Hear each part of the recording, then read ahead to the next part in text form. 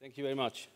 So welcome everyone here for this last session. I know it's the last session between me and fun, so I'm glad you're here. We close the door so no one can leave uh, and you stay. But I hope you can get something out of it. Um, it's not hacking systems now, it's hacking the human operating system. I actually prepared a big entry like why did I do social engineering and all that stuff and these things. But now in this setting, it kind of came to me, you know. I haven't been in this setting for a long time in the evening. But no, it was back then maybe, oh, that's a nice girl. Oh, just a girlfriend. And then you go back. So social engineering, it's in every one of us. It's our program, how our mind works. And it's sometimes astonishing how it works and how it doesn't work. So I selected a couple of things I wanted to highlight to you for today's session. And I hope you can pick up on some parts of it and maybe even use it. So today's session is actually not about me, it's about you, because I want to contribute to you, what you do, what you can use in your daily life or in your job, and give you away some of the things I have done. I do information security stuff, or security stuff, I can say. Google knows me, and there is Twitter. I don't do much there. I'm not so of an online guy. Um, or as my mother-in-law once said, right, you work with uh, computers, can you please carry the printer inside and connect it? I said, yes, of course. I work with computers. That's my work, stuff I do. So what I do is I protect my clients. You see a couple of them here as representatives from this wherever it is required. That's the work I do. I spent a couple of years in Australia. I have done some work in Asia, in the US, and all over the place. Information security stuff. Big and small engagements, and with all sorts of edge to security, I guess. Now, what's the definition of social engineering? There are actually many definitions out there, and none of them really fit. So we found, for us, it's important to create a common understanding for social engineering. It's also, if you do work in your field, most important is to create a common language. If you work with clients, with other colleagues, whatever you do, if you don't talk the same language, you get in trouble. Some talk about segregation, some talk about VLANs, some talk about zoning. They maybe all mean the same, but maybe not. So this is our definition of social engineering. It's the elicitation of information from systems, networks or human beings from all these three areas. We want to collect information as social engineers from people through method and tools. We wanted to have a controlled approach in obtaining information. It's information, as I say, usually I do also some work with uh, Hacker High School for kids and stuff like that. So it's always very hard to get to know people what information means and if it has a value or not. But the most important thing is always data is an asset. If you remember this, you will be fine. That's basically it. Data is an asset means your forename is an asset. Your phone number is an asset. Your address is an asset. Where you live, your laptop, your SSID, your system handle, all this is an asset and has value. And it's like with hacking. That's why we have these tools, like ArcSight, for instance. If you have an event here and an event here three months later, a human being cannot correlate what has happened between those two. It's the same things with your assets. You give away your name once, then you give away your street there, and the rest here. You cannot correlate. That's also what social engineering does. They just pick pieces here and the piece there and the piece there. And then at the end, you have the full picture for whatever you need to do with it, right? So that's just a definition which gives you an idea what this actually means. It's not bad or good, it's not valuating, right? We don't say you steal classified information because most of the information is not classified you steal as a social engineer. But if you combine and correlate the information, then it's becoming interesting. Why is social engineering as an APT so underestimated? I think that's one of the biggest problems and also a driver why we do, with my colleague in Germany, we actually started this framework. It is underestimated because there is no software or hardware you can buy. There is not a box or an appliance or something else you can buy. It protects you from social engineering, right? There is no firewall, gateway, data leakage prevention tool, whatever. You cannot buy something really tangible to protect you from social engineering. And actually, I'm glad you can't, because otherwise it's a device which you don't really like to install on yourself, right? But also, I think social engineering as an APT doesn't have its own logo, right? So it's really kind of, is it a real vulnerability if it doesn't have its own logo? I don't know, maybe. Like the other serious ones, right? Because only serious vulnerabilities have logos, right? So that's this one. And uh, you wouldn't believe, but uh, the second bullet point is actually true. I worked with those vulnerabilities when they came out for my clients. So there was a big mess. Okay, do you have an asset register? Where are your machines? Are they affected or not? When can we update them? Who's paying for the update? Is the SLA still in place, etc., etc.? And then, a couple of weeks later, there were new vulnerabilities coming out. And I was doing this kind of uh, strategic advices on vulnerabilities, etc. And then there was a vulnerability without the logo. And I got this ask, hey, Dom, is that also a dangerous one? It has no logo. I said, hell yes, it's even more dangerous than the other one. But it has no logo. So what do you do, right? I think also what's in interesting here, that's the human mind playing around this, is you get 10% more budget if your vulnerability has a logo to fix it. Really, it's true. You know, if management sees a logo and they report, oh my God, heartbleed, look, it looks like this. So dangerous, blood coming out. You get 10% more budget to fix it. And also what's interesting, if you fix finally one of these ones in the company, you patched everything, etc., you run a new scan and say, oh, yes, we done it. You're the hero. So you not only get 10%, but also you get the hero bonus for fixing it. That's what's happening with the logo.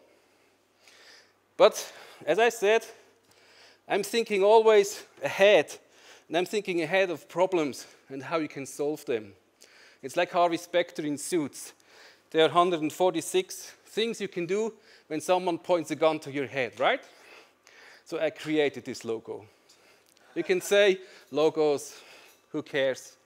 Social engineering, forget about it. It's not important. It's not even real coding there. So I created social engineering logos. But also I created them to get the 10% bonus and the hero status, right? Now you can use them. I, um, maybe you can hack them from me or social engineer them from me, or we will make them available on the website for you. You can download them. But I also use them for planning. Social engineering is also about planning, planning attack vectors, looking for vulnerabilities. And when you have a logo, you can actually make some nice maps. So you pick out the person, and then you say, okay, now there, geographically, we go phishing. There, geographically, we go whaling. We want to have this guy. Or spearphishing or whatever. So it's actually also for attack planning quite useful, but also to show management, hey, we need more budget to fix this, right?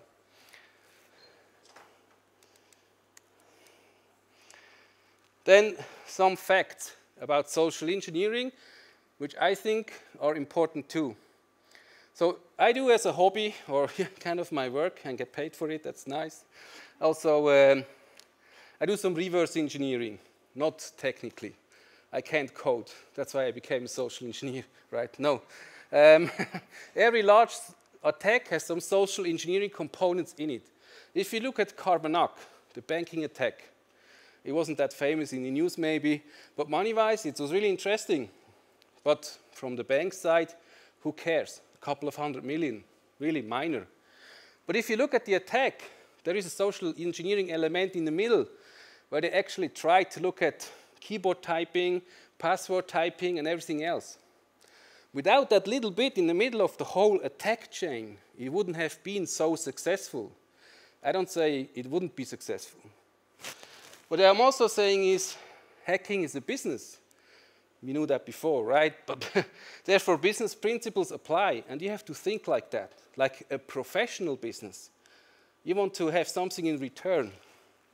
And also, from a socioeconomic point of view, hacking a person is much cheaper than evading encryption or two-factor authentication, for instance. So what I do expect is, for the future, that there will be much more social engineering in the attack chain. And it's cheaper. And if it doesn't work, who cares? You create another attack chain. But so it means, from my view, looking at social engineering and protecting my clients, you need to be aware. You need to be aware as a CISO you need to be aware as the IT responsible, as the CEO, as a, an administrator, as yourself, right? Because your reputation is maybe on the line. So be aware of this. It becomes more important. And it's so easy to make any faults in this area without realizing. I think that's an important bit. The link down here is actually from a very interesting movie from the Switzerland uh, Federal Intelligence Service about industrial espionage. They call it short movie and it's 20 minutes, okay? But it's really interesting. There's some social engineering techniques in there. How actually an industrial client gets hacked. He's a book author, and then some person is approaching him and saying, "Yeah, we can offer you a contract and give you a contract with, you know, France, and we can get you good reviews and all that stuff." So it's actually really good made. If you are in awareness or something for your company, go to that link and look at it. It's a great, great video. And also gives you a bit about the topic of uh, social engineering. Now, what are social engineers? They're not just the unskilled little brother of real hackers, okay? they have feelings too. they love, right? And what do they love? They love ducks. They love turtles. And they love pineapples. I see some already make the link there, right? Is it a riddle? Yeah, it's kind of a riddle, okay? What do I mean by that? They do love LAN turtles. They do love USB rubber duck here and do, do love pineapple nano. It's not a product endorsement, okay? These are tools you can use. And these are tools commercially available, easy to use you know, you can drop shells everywhere. It's like a, an injection tool. And the nano, it just gives you what you want. Isn't that the best thing that ever happens to you, you know? If someone gives you what you want. So the nano is so friendly, it gives you the SSID you want. It gives you the SSID you're promoting, your access point. They're so friendly products. So that's actually what I mean by fruits and animals, right? So maybe you're connected to one right now. Sometimes at conferences or other places, you really say, leave everything at home. I say, take everything with you to the conference and look what's going on there yourself. Then often you see people walking around, backpacks and antennas like this going up, right? And what do they do? Oh, Are they just friendly? They help you get access. So don't be always so wary with these things. You can trust them. But no, that's also a problem which I think is careful from the perspective of how do you conduct yourself. You know, do you really want to show your access point? What's the point of showing it? Yeah, it's fun. It's kind of, is it ego feeding? Yeah, maybe. Do you want to provoke reactions? of course. Do you want to provoke reactions? Maybe. So it's always kind of um, the approach what you want to do. So my approach for this is, uh, I just bought today, I always try to combine work and pleasure. So a chocolate croissant today. You know, I have a train, general abonnement, can drive around everywhere. Quite funny. I can eat my chocolate croissant and then put it on the table. That's much better than seeing antennas. Because look, it just needs a bit of conceal. It looks like this. You know, you don't need to show antennas. Maybe you're connected to one right now. It's a very good access, just connect to it. So these are the nice things. social engineers use too to get their information or what they want. So, what do you do if you're connected to such a device or thing? First, don't panic. You're in good hands with the social engineer, right? So, he will help you. You can relax. You have someone with competence on your side. What you do next? Second, don't remove this device. If some device is connected to your laptop, to your desktop, whatever, right? You don't want to break anything because you have to tell your IT department, I have broken something. So just leave it there yet. Then next, third, safely remove it and plug it to your CEO's laptop or best friend's laptop because you get rid of the problem and that's a principle what's called shared responsibility. Everyone should get a fair share of this, right?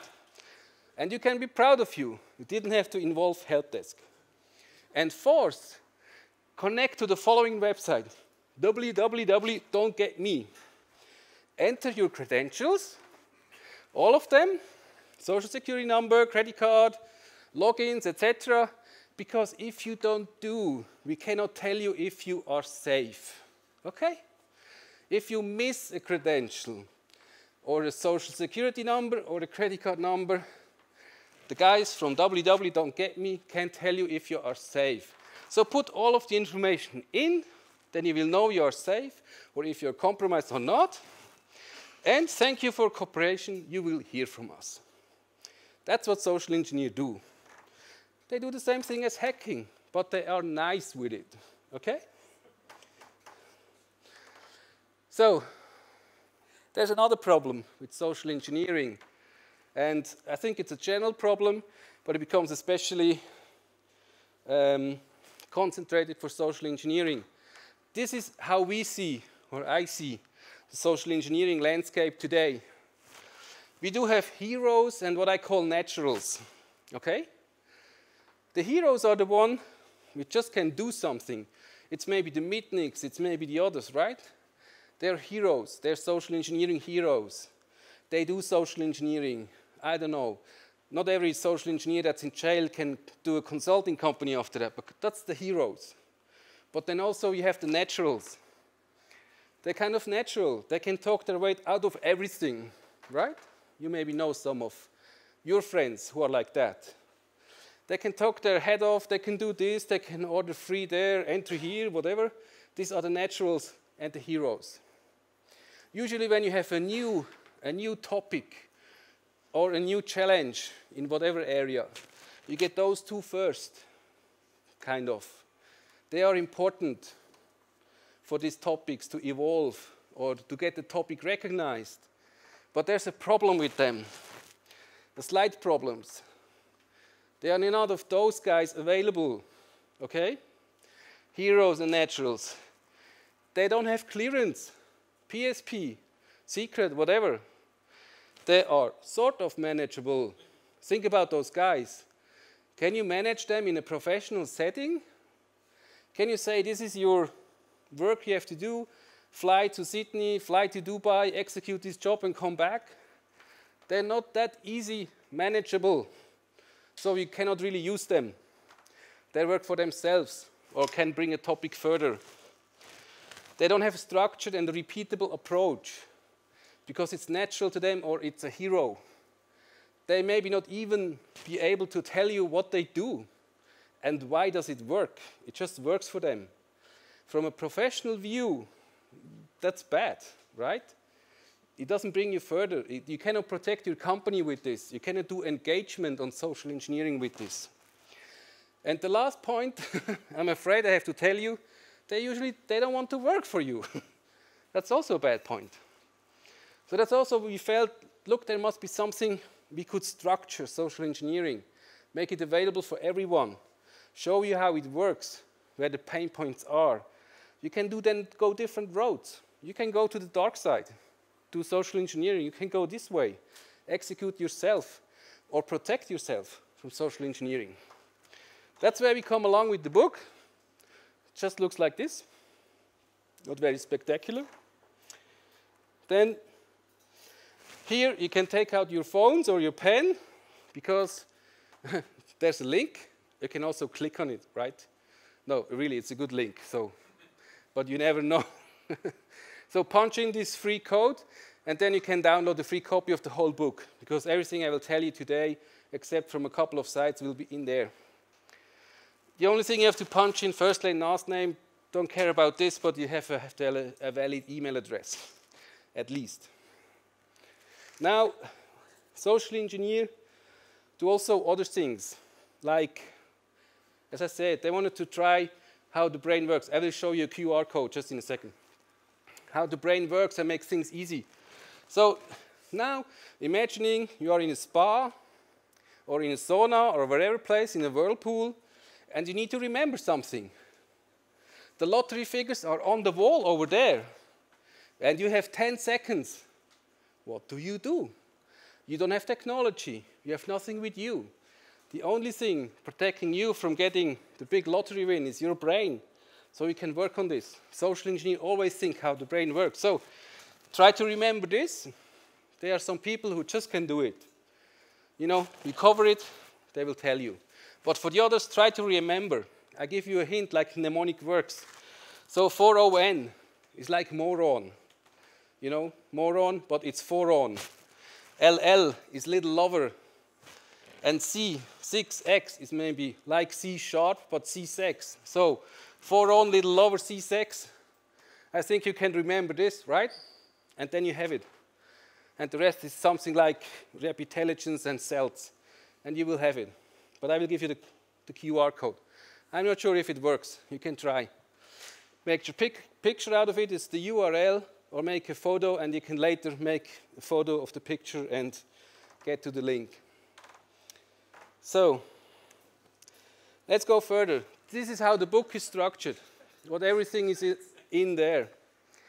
Social engineering, the framework, this is more targeted if you want to do social engineering engagements with your guys or your company. A bit about governance, risk, compliance. I think very important from my point of view is intensity levels. We will cover them. Approach selection method is new. Attack vector development.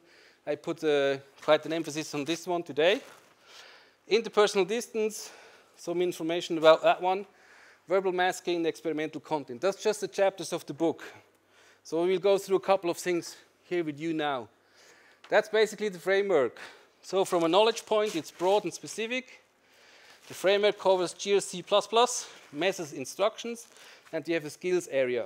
Skills is really where you develop yourselves or the work you bring into the table. Some of the methods, a method is explaining you how you do certain things, and instruction is like a step by step. Some of the methods and instructions don't need additional skills, right? And some of them need. But you will see later what I mean by that. This is the GRC++. GRC, as you may know, is a governance risk compliance. Everyone talks about it on the carpet floor. What's important, what is governance, what is risk, etc. So, but GRC was, from my view, not enough for social engineering engagements. If you do vulnerability assessments, you maybe know the pain of working on terms and conditions, right? What do you scan? Where do you scan? Do you scan and exploit? Do you exploit and not scan? Or what the hell ever, right? It's really a pain. And it's very stressful for the companies as well, because they don't know. The problem is they really have to trust you with that. So GRC is a topic there, but I added certain elements which are really important for social engineering. Because sometimes you hear things like, oh, there's a get out of jail letter. You know, you do a social engineering engagement, you get the job, you get a confirmation from the company saying you're allowed to social engineer, blah, blah, blah. But then you're on your own. Then you try to enter a company, maybe physically, through a reception desk. Now in Switzerland, the problem is reception desks are not the company's reception desk. That's a separate company, right? If you get caught trying entering there, they won't be nice to you. And your letter, get out of jail letter, is worth not the paper it's written on, because they don't care. They have a contract, a professional obligation to the company that do their services for. These companies are known to be secure. And they will also never let you get away with it because that's their reputation. We are the company who's protecting the entrance of this company. So that's things you need to understand. That's why there are more levels you need to consider for social engineering. I got some feedback about this. Here it says, feedback was, don't bore hackers with this, they will die. Yeah, they're still on their chairs. So won't talk about this, forget it, right? Some of it, culture, don't overdo it. I was listening to that. Ethics, not much use at the hackers conference, skip that. So we'll probably talk about those two. Right. Go to the intensity levels. That's a part we worked quite a bit, and it comes out of a lot of engagements I have done internationally.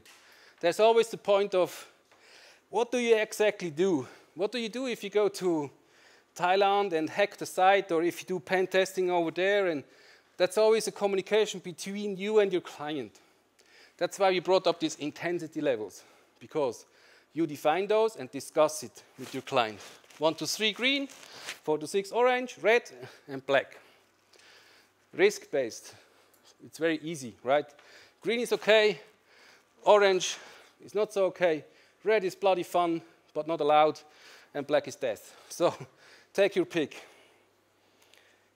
Then, additionally to this, comes the risk appetite and possible consequences or techniques used to give you a tool this intensity levels is actually a tool. So here on this level, we have legal, non-evasive, open source intelligence. That's level one. That's pretty cool. You can do that mostly without a problem. Without a problem, always looking over your shoulder and see if you get caught or not. And writing your letter and say, Mom, I will be away for 10 years, but I will come back. Okay. It's simple local or national standard or corporations. It depends also on the company you work for. We can do the same thing for two different companies, but the risk is unbelievably higher on this company. If you have a company, I don't know, if you want to talk about, let's say, um, Monsanto about pesticides, hell yes, do that. I look what you do. If you talk about something else with this company, pesticide with uh, Landi in Switzerland, it's okay. Those guys will kill you. So it also depends on the company. That's why you have the company in here there too, and the local or national as well. Level three is the preservation of a personal, of a person's or a company's integrity. That you can go up to level three with social engineering if you keep a person or a company's integrity. Don't smear them, don't make bad press for them, don't risk someone's job with it, then you're okay. Next levels. Invasive, intrusive, medium complexity, international or well-known corporation. Five is ethically questionable. And six is the occasional risk of illegal misdemeanors activity, legal implications not known entirely. So, you know, think about it if you want to hack the Liberation Army or something like that, right? Level 7 is invasive and intrusive, highly complex, international company, high profile political, it's important, or medially present. Then it goes all the way down. Here is coercion, etc. Illegal, felonies, I will just explain you that, and misdemeanors. And the black stuff is highly illegal. That's usually reserved for these three letter acronym companies. We all know, right? So the point really here is uh, just about um, the felonies and the misdemeanors. I think in the Switzerland context, uh, it's really important that you know the difference. So I just look it up here that I tell you some crap. So misdemeanors is along the lines of Übertretung and Vergehen, and felonies is along the lines of Kapitalverbrechen, Straftat. You know, if you can find a flat, you may do just a misdemeanor, gets you away a couple of months. If you produce a felony, can get longer. So think about it. Think about before you hack. This table is not just for hacking, guys. It's for social engineering, hacking, whatever else you do in life. You can apply it everywhere. It's important to know what you let yourself into, and It's actually part of the agreement with your client if you get social engineering contract. You put this table in. You both agree. You do social engineering based on physical entrance, blah, blah, blah, locations, headquarters. Very funny, 25 grand, but you stay within these levels. And both sign this. That's important. So you have a common understanding what you do. So that's how the whole table looks like. Here are just a couple of comments, sign off approval. Because the point also with this table is, if you do red teaming, sending people somewhere, you won't see them for a while.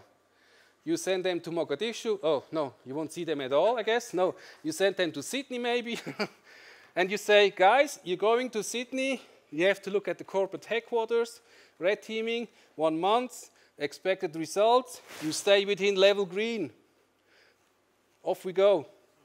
Then when they're there and they do their entering and braking and whatever, they know they don't should go above level green. That's the point. Because they go in there, they see a laptop with the golden image from the CEO. And it's like a jackpot. And at this moment, if you see something like this, you think, whoa, I, I have the jackpot. Whoa, you go like this. And they take it with them, and then they fucked up the whole agreement. Okay? If you agreed on this before, they just leave it there, do their job, and come home. Okay? These things is especially important, as you can see here. If you engage third parties for the more risk bits, don't do them on your own. It's especially important to talk to them about this. It's their job. It's their job to stay here and do that and not more. That's how you do it in the professional world because you don't want to have surprises. That's really the thing no one wants, okay?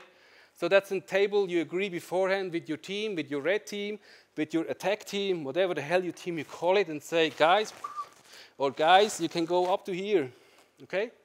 You can break a window, it's okay. You can steal something, it's okay. Don't do it in Kuala Lumpur, but you can do it in the US. Okay, that's, that's why this table is for. Then maybe something a bit more boring from the engagement point. I won't go through all this here, but that's actually a complete set of what you do if you're self-employed or you want to become a social engineer. That's how you do it. So you have pre-engagement, engagement, and post-engagement phase. You do some processes here very important ones, and you can use it. Usually, you have a framework, a project management framework, or you work with Hermes hmm, from the government in Switzerland. You don't need all the bits. That's why I show you the next bit, this one. These are the most important bits. It's only five. Client selection and acquisition. Look who you work for. Check them out. Scoping approach selection. I will show that just after this slide. The scope and the approach you take for your results. Deliverable and approach monitoring so your project doesn't go out of hand. Client job risk assessment. You know, if you work for a client, for instance, um, everything is fine, they get you a job, you think it's perfect, you do it, then you figure out, oh, your client is involved in some stuff like uh, killing orangutans for palm oil somewhere in Indonesia, you might think, oh, I'm a tool here. I don't have a job here. That's why this one is for. And I was with the big four. It was a very important point. Always keep track not only of the job, but also of your client, I tell you. Otherwise, you will become a tool. Never mind, it's good stuff. And the GRC which I just showing you some elements. Now we go to the more meteor things, I think, which you can maybe relate more to it. That's the, the attack vector table. That's kind of the summary of it. And we have a, a range from standard attack vectors on this side to highly sophisticated targeted attack vectors. So here you can also see on this axis, it's based on the importance uh, of engagement or the importance of the task, but also it's based on effort and costs to develop an AV. I said, everything is a business. You, you can have, if you have time, develop the craziest attack vectors to get your results, but you won't get paid for it. so it's always in this area, that's why you work in this area with the standard AVs. The standard AVs you know, and you see what you can do. So you work with OSINT, a bit of dumpster diving, baiting, phishing, spearphishing, etc. And on here, you really have to specialize attack vectors. You, you won't find them anywhere else. We define them in SAFe. For instance, you can do psych profiling, you can use NLP techniques, you can do Cialdini 6 if you know what it is, uh, and SIRMAPs. SIRMAPs is actually something we invented. It's social and emotional relationship maps. It means if we look at a target person or a target object, we look how this person is related, not just from a networking perspective or from a social media perspective. We try to look at the person in a way, how does he react?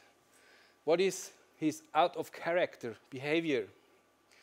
What can we do with him else? He's, he's uh, you know, these hate-love relationships. Usually you won't go there because of ethical. Does he have kids, family, what else? Is he healthy or not? I will show you that. And that can be pretty intense and obviously cost a lot of money. So you only do that if it's very important. But I will show you now, after that, that one, how this actually works. So here on this one, you see how we can develop attack vectors. And I'm not just talking about attack vectors you're dreaming up after a night you are drunk and say, oh, that's a fucking good idea. It's engineering, social, it's called social engineering, not social whatever. So that's the engineering approach in making attack vectors. And the point behind this, they are successful, they are predictable, and they do deliver the results. You know, it's a structured approach. And you see that's probably the most fun working on social engineering, working on these attack vectors. It's also very good if you have people in your team who are not maybe want to go out there and expose themselves and always getting arrested at reception desks. Those guys can develop these. You need clever guys. You need guys who know how things work, how the world works, how company works, how accounting works. They can help you with this. You can even get specialized people in, like psychologists, for instance. You know, hackers have handles, system, system handles like frackers, etc. And psychology system handles like Woodstock, Rainbow, etc. So get them in too. They can give you some valuable information. So you start with defining the type of AV you want to develop first. Technology-based, person-based, remote, on-site, or location-based. Then it's what I call the principle of the attack vector. We can basically use anything. I don't say this approach is the best. It's the same like with these tools. The framework actually counts for we use what works and commercially works, and the rest we get rid of it. It's the same here. I don't want to focus on a simple method or principle to develop these, and in two years it's outdated. So we take what's out there. So we can use all these things. You maybe never thought you can make attack vectors out of it, but we can use Maslow, hierarchy of needs. Maybe you have heard of it. We use Cialdini 6. He has six principles defined in the book. They're good. Sometimes they talk in social engineering about parts of this stuff, but not really sorted, you know, not engineered. We have SIRMAP. We can use NLP techniques as attack vectors, you know, rapport building, timing, leading, pacing, mirroring, doing the same as the person. You know, these are techniques for between people.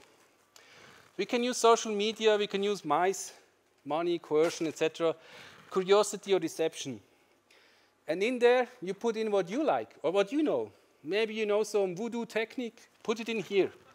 I don't care. It's, you develop an attack vector but it should be repeatable and it should be successful and then should be bring the results you want. They can be time-based, authority, scarcity, helplessness. These are principles the human brain works. and has flaws. And depending on where you are, the flaws are different. That's the beauty. You cannot fix it, right? Then here, what you're looking for is actually sweet spots, weaknesses, strengths out of character, etc. Here are the constraints. You only get a certain amount of money to develop them or time, and you need to stay within the intensity levels or the GRC++. I will show you now three standard attack vectors, right? So here we have impersonation. Impersonation is actually the method, of course, of impersonating someone or something to gain access to a location or write a letter in the name of the CEO, etc., to get information, to get login information or etc. That's basically what impersonation is. Then next you look at the intensity levels. Remember the 1 to 12. What's with the intensity level with this standard attack? It's a cool attack. Everyone loves it. Dressing up and changing things. But the problem is it becomes quickly uncontrolled. And it's more trouble than it's worth. Because depending what you do here, I think I got that for you, um, on the next slide. Here, you got the answer. Most social media, media websites and other websites have an in-person policy or anti-impersonation or real name policy, except if you're a celebrity. So with impersonation, you're already violating all that stuff. Then you have to be really careful. If you create a fictitious company and get in there, that's kind of probably okay all these good ideas about, you know, get some overalls from the cleaning company, whatever name they have. You can buy t-shirts at second-hand fairs with names and logos of companies. That can get complicated, right? Develop your own name, develop a fictitious company, and then refer to it. Because at a certain point, and it always depends how far you take it, um, I know from cases where people also started doing fake IDs. You know, like I'm now the blah blah IT guy of do do do to get in and get access and get connections and building identities. The problem with this in Switzerland, it's Urkundenfälschen. This, it's a felony. And how you want to risk felony for five grand or something? No, don't do that. So impersonation, tricky thing. Good thing is dumpster diving. Social engineers love to dumpster dive. These are the rats of society, right? So they go through everything, everywhere, buy stuff online, go to the dumpsters, have a look at them, dig in, figure out stuff and information. It's a cool thing. So you have to consider a couple of things here. Intensity level usually can be done within acceptable intensity levels if you have a clear understanding what you do and where. You can take the bins out in the SBB, in the train station, but you have to be careful if you walk on someone's property. With dumpster diving, it's expected if someone throws something away, he has no real expectancy of privacy for these things. If these containers are on a company's property, it's different. You have to be a bit more careful. But usually, it's a good thing. And dumpster diving is, you can go do it everywhere you find dump on hard disks, memory sticks, etc., as well as dump in physical form paper. Eavesdropping, I think that's the best point. I say also usually as a joke to my friends, and I, I will do it, I promise you, I will do it one day.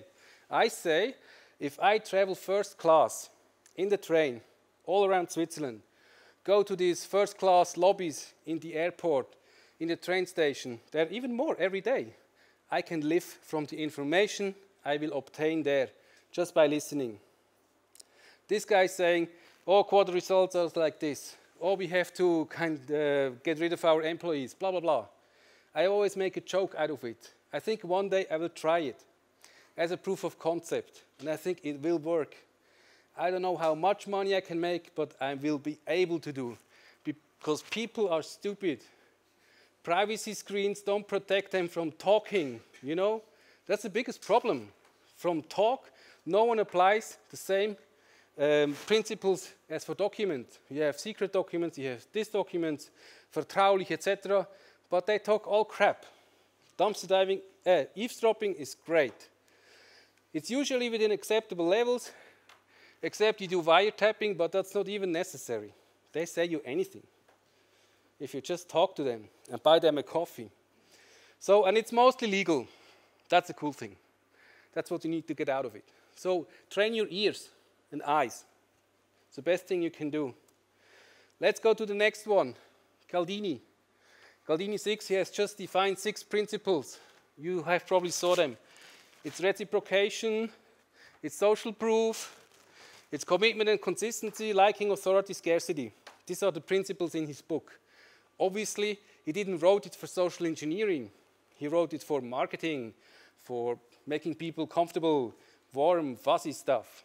But of course, you can use everything, dual use, purpose. This is our description. If you will give, you will receive in return. If I do small favors, then you owe me a favor, right? When others are doing it, it's okay. Group pressure, peer pressure. If I agreed, I will stick to it. If you get a commitment from someone, you can take it maybe further. If it's like me, I like it, okay? If everyone walks around in t-shirt, I will walk around in t-shirt too. If an expert, that's an interesting point. If an expert or authority figure says it's true, then it's true. People don't even think between the first information they see on a website. I have put out graphics and stuff online with links in there, which would send them to some hellhole. I can tell you, I got no feedback. They don't even click on it. They don't even look at it. What is it? Is it true? Is the link true? Is it coming from there or not? That's unbelievable. If you're seen as a part of communicating, everything that's written must be true. And of course, I make limited editions of everything. It's better gives you also another 10% of the budget. So this is how it works. Attack vectors, reciprocation, you give, you expect back. I have to speed up a little bit. Social proof, how you apply it. It's all in the book. How do you apply this attack vector? That's the other one. That's this SIR map. It's a bit more complex. This is the index person. Psychologists use that. By the way, you can say you're a psych psychological advisor but you cannot say you're a psychologist, okay? But the rest is fine.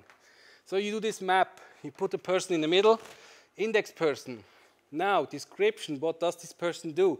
That's a simplified example. He had an affair 2014 with 20-year-old Tiffany. He's now focused on Claire. His best pal, Bob, has PTSD, is 45. He's married in 99 to Alice, which is 44. By the way, round is female, edgy is man, he has a hostile. Host she is hostile towards Bob, sorry. So you collect this information. You can also give this to professionals to collect. Then you build an attack vector.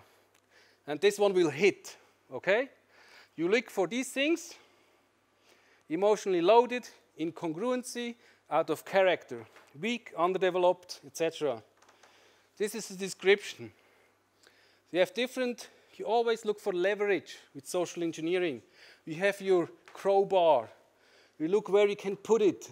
And the human mind only needs little edges to put a crowbar and crack it open, right? So you look for these things and you can use them then. I mean, that's very level six, right? You wouldn't do that just as it is. Here's a list of symbols you use. I can also give you those ones, but also you can use it for your meetings to draw how the real structure is of your company. This guy hates this one. This is the information maker, etc. You can use that. So, next one, big one. I think very important. Ego. It's the biggest problem. Me, myself, and I. Why? Um, out of character. Ego makes you pay too much at an auction. Ego is also the problem why you have your antennas here on your backpack wherever you can see it. Ego is a problem with your system handle. Do you really need one? Do you need to sign your work? Yeah, everyone needs. You know, graffiti artists do it. Hackers do it, social engineers do it, but eventually it will kill you, right? You know, everyone knows an, uh, an excel, excellent hacker by name and handle and everything, but the absolutely outstanding hacker no one knows. System handles are dangerous. Your behavior, your type of style, writing code, etc., is dangerous eventually, not now. It's here now. In a year, there's enough information to correlate all this and find the one who did it. So be careful with these things, with ego. It can give you big struggle. So, a bit about distance, and then we'll be finished soon. This is just uh, to tell you how things work. You have the intimate space, family, about an arm's length, personal space, about two meters, it's friends, social and public space. And then there's the bit we call reaction zone. So that's about this. If you enter this space towards a person, it's the reaction zone. You will provoke a reaction of some sort. If it's military, you get shot. If it's something else, you get hit. You provoke fight or flight. You need to know that. It's culturally different. You know, the Italians fucking hug you, the French kiss you everywhere, so it's different. But be aware of these things. What is, what is the zone? What is a comfortable distance? How do you talk to each other or sideways? Keep that in mind when you work with people, right? That's probably uh, the space of New York. Everything cramped. You can ask your neighbor, can you change the song on my iPad or iPhone? This is then the practical application of this. This is a desk, by the way. That's your target person. No, practical application. How do you approach someone? Guys, not from the back. It's never comfortable. The person will never talk to you. It's just not good. Red zone. Orange, somehow acceptable. Green is ideal. Talk to this, and the screen is there to a person. Because then you have to make the person comfortable. If she's insecure or whatever, he will not talk. You don't have to social engineer everyone. It's also if you have employees or a team, consider this. But if you think, ah, yeah, really cool, I go green, you go to the person's desk and sit on it, it's not working, right?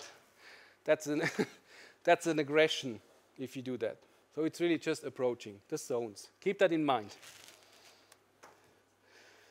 So I think I'm, I'm finished with the parts I had, I could cover within this time. And if there are questions or you want to do something else, like a micro expression training, just tell me.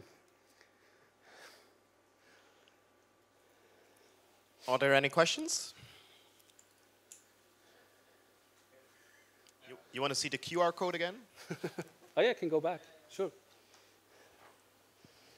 Hi, I just have a, a question. Have you ever felt uh, like in danger doing something in your in job? Yeah, I think definitely. or, not comfortable. And it also depends what you do where, right? There are just certain countries or things you won't do anything, and that's the point in, in staying professionally. Or it's maybe if you do it in a team, if you team up, you do distractions or other things I don't mean like explosions, but just, you know, uh, other distractions. Then you feel uncomfortable because you cannot control the other persons. And then you think, oh my God, oh my God, this is going. So that's why these tables are here. You brief everyone beforehand, and then you can trust. Uh, where is this code now? Uh, I think that takes risk out of it, but not the fun. So that's also why we in kind of invented this framework. So you can do it safely, you have your rules, you don't go to jail too long, I guess. You need good lawyers, but you're fine. And that gives you a good feeling, right? And the learning for companies, individuals, is anyway there way before you steal something or you break something or whatever. You can, you know, you can show the flaws or the gaps they have, I guess. Any other questions for Dominique?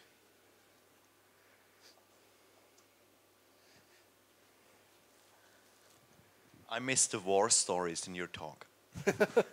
yeah, they're, they're, you know, they're different ones. I mean, at, uh, at DEF CON, I was SECTF uh, competition. like Capture the Flag, but for social engineering. I was there, it was really cool. And uh, then we had some assignments to do as well in there in Vegas. So some people just took it too far. So you get the job of go there and get their age, name, job, whatever, you know, kind of defined. And some took it so far that you took the approach of in a shop telling a lady, okay, I'm with the police, I'm a private detective, I, I saw you stole something, right? And you need to show me your ID now. okay, that's, that's an approach too. Approach selection was bad. And she, she showed the ID, and it was kind of, uh, do you really guys wanted to know it? Then they gave it back, and the lady was running after them, right? Kind of, hey, who are you? Why do you want my ID? And that's kind of a thing in the US. It's not really good if you pose yourself as police or an authority. So they really got in trouble. I mean, it's always the friends that got in trouble, right? It's never you. You always have a friend who does it, you have a friend who knows it. So that's one of the stories I also came with these things up now. Okay, how do you can do the same thing but more risk averse? So, and always, uh, I guess you have to be careful. You can get closed up in a, you know, in the toilet and then you don't know how to leave the building afterwards. It was a good idea to hide yourselves, but uh, if you don't get out after it, it's not much good, right? And uh, there are these situations you think, oh, really, was it a good approach? And then there's no good way to talk yourself out of it. Usually, what happens, you talk yourself into it. So you need to know the point of no return, where you say, all right, okay, I had this assignment, I tried it, um, you know, I give it, give your laptop back now. So sorry, sorry for installing a rubber ducky. It was just a proof of concept, but yeah, I, I don't do it again. But here, try this. You know, it's the other tool. but always play safe. So you can go to the next conference and you know they're ending up in jail. They don't have TV there. All right. So let's give a nice welcome uh, applause to Dominique Cédric. Thanks.